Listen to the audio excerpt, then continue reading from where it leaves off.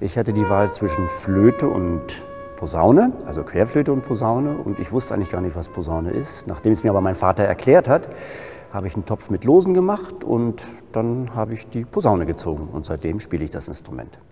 Ähm, düstere Stimmung sehr gerne. Friedhof, Zauberflöte zum Beispiel oder ähm, äh, Choräle, sehr schön. Oder wenn es majestätisch wird, Fanfarenart. So, das, das sind wir. Ich merke eigentlich immer, wenn wir auf Tournee sind, reagiert das Publikum eigentlich immer überschwänglich.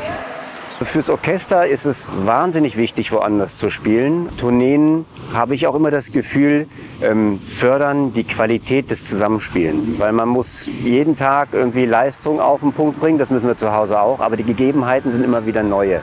Man hat neue Seele, man hat neue Voraussetzungen, man hat ein anderes Publikum und ähm, für die Qualität des Orchesters ist sehr gut und natürlich auch für das Renommee.